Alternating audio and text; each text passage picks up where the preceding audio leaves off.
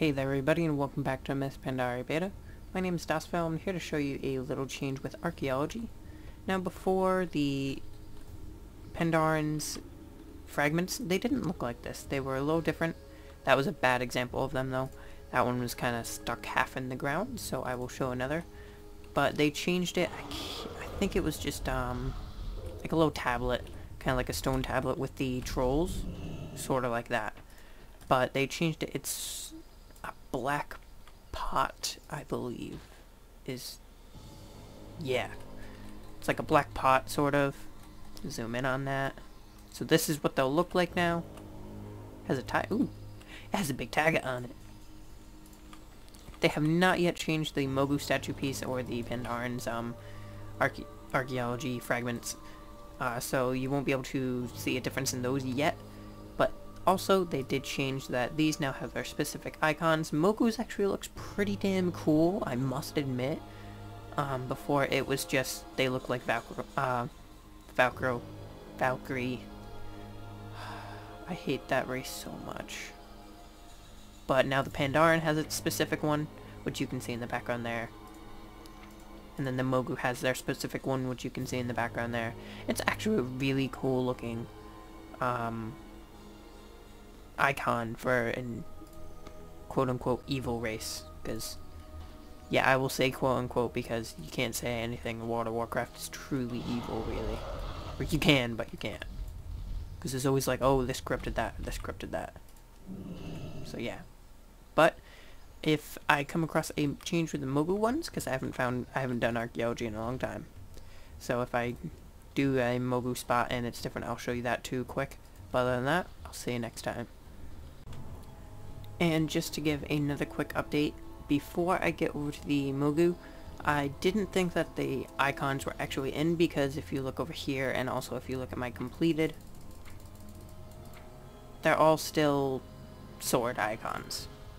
So technically they're not done, but I just finished the Pandaren game board, and now I can create this, but it also has its cool little icon, which actually looks like a little game board, so it's cool. It's created up, and I'm to head over to the Lorewalkers with that. Well, I was right. It seems the Mogu archaeology find did change a little bit, unless that guy was just very deeply buried. Let's find another one though. This one should be off the hill and shouldn't be buried, so... Uh, come on, pop up. I know you're gonna. Oop, there you go. Beta's being very laggy right now, so anything you do pretty much lags for a moment. Oh, nope, they did change it. Now it's just a creepy stone mogu head. And I'm under attack. But, those are the changes to archaeology so far. Pretty cool, I say. And to avoid my death, I will see you next time. So along with those changes I showed you before, I'm going to show you a couple more. And I'm also going to solve two rares that uh, the Mogu and the Pandaren both have. Now this is the Mogu one, the Quilen Statuette. Let's see if it does anything fancy. Oop, if I can stop lagging. My fancy item. Hold. Oh. Oh, whoa! It's a trinket. Increase mastery by 406. Summon the artifact bound Quilen. Artifact details have been logged into blah blah blah. So I'm going to let that 30 second cooldown thing go over and now I'm going to solve this. The Umbrella of Chi-Ji. What is this? The Four Celestials.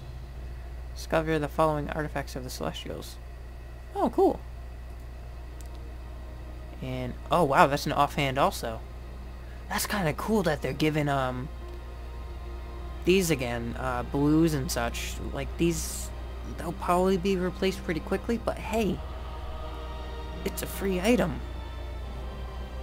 Stamina, intellect, mastery, and haste. What does it look like? Obviously an umbrella, but...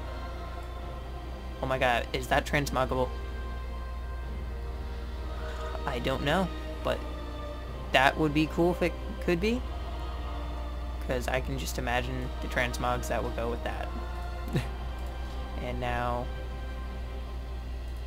Use. Oh, look at him. You over here. How much damage does it do? 219, 215. Not very much. So it's not worth it at all. Is that supposed to hurt? Dude, you're talking. It's kind of cool. I'll take this guy out. But what I wanted to show you originally is a quest item that you can get from this. And this, it the Iron Amulet is just a regular Mogu artifact that you can collect. But I got this as a special one, a pristine Iron Amulet. It is different from the normal one, and it's kind of cool because there you go. It's a quest, put the artifact on display, and you actually get to display your items, so that's pretty cool. It is just normal item going all the way back. So, Iron Amulet. Where is it? There you go. Iron Amulet. It's just normal one, but you can get these random spawn ones where they're pristine. So I'll be over back at the Seat of Knowledge, and I'll show you the little quest for it in just a minute. Now if you come on in, a book will be lit, lit up named Clutter. Remove the clutter and put the artifact on display. This will aid Lorewalkers and archaeologists in understanding the history of Pandaria. Ooh. This huge iron amulet weighs as much as a battle axe. That is really cool. So I'm assuming that probably all these tables over here can be filled by an artifact. Actually, probably all of these tables in general can be filled by a pristine artifact. That's going to be really cool if you can do all that. And you do still get a restored uh, artifact with it. And I just want to point out one more quick thing while I'm around here. I noticed this as I was flying by, and there is now a Phoenix Egg Trader. So, Crimson Pandaren Phoenix, meet Ashen Pandaren Phoenix, and Emerald Pandaren Phoenix, and Violet. It's going to be pretty interesting. So, that's all for now, for real this time, and I'll see you next time.